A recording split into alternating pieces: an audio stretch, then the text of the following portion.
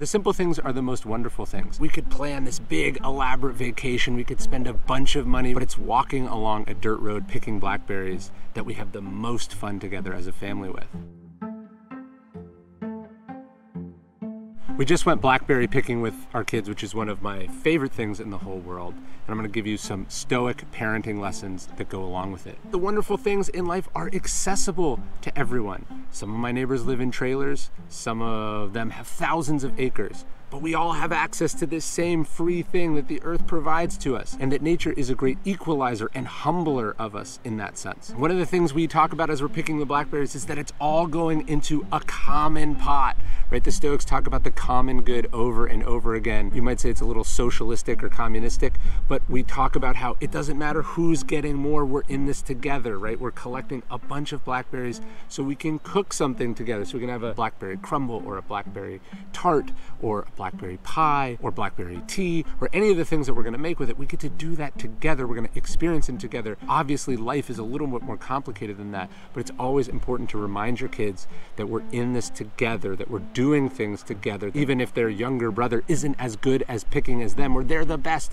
it doesn't really matter because in the end, we share these things. Being present is the most important thing. You could say that good parenting could be encapsulated in a single word presence right? If I'm on my phone, if we're distracted, if we're not watching them, all the good memories and moments that we have as people, as parents in this life, come when we're present. My hands are all dirty and covered in thorns. To get what you want in life sometimes comes with costs. Seneca talks about paying the taxes of life gladly. He doesn't mean just the taxes you owe the government. He means that if you want to pick blackberries, you're going to get stabbed with thorns, that you got to watch out for snakes, that there's going to be bugs, that if you don't put on sunscreen, you'll get a sunburn on the back of your neck. The idea that nothing is without cost in this life, and we have to be aware of that. One of my favorite Stoic lessons they say, don't expect figs in winter. The idea is that there's a time and season for things, that things come a certain way, and then it's foolish to expect figs in winter. It's also foolish to expect things from people when they're not ready.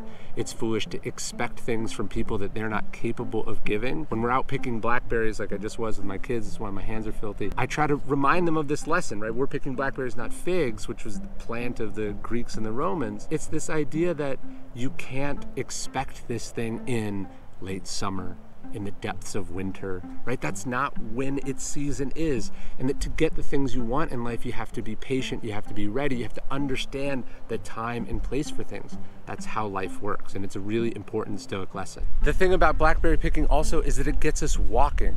I've said before that uh, although walking doesn't solve all your problems, I've yet to find a problem that's made worse by walking getting the kids outside, getting them moving, doing something that's stimulating and fun and challenging and messy, right?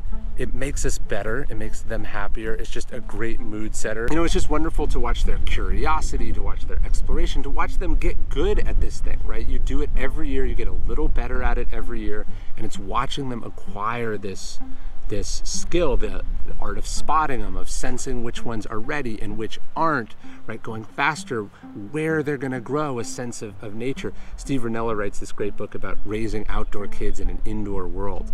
And whenever I go blackberry picking, I think this is what we're doing. We're, we're raising outdoor kids, kids that aren't grossed out by stuff, kids that aren't afraid of thorns, kids that uh, are curious, kids that are excitable, kids that, that understand the world around them, that can spot beauty in beautiful places, but also beauty in ordinary places. This is what you're trying to do as parents. You want an outdoor kid in an otherwise indoor world. If you want to keep your Stoicism journey going, well, that's the journey that I'm on every single day at this computer. I write one Stoic inspired email that I give away totally for free to people all over the world. There's no spam. You can unsubscribe at any time and you can sign up at dailystoic.com slash email.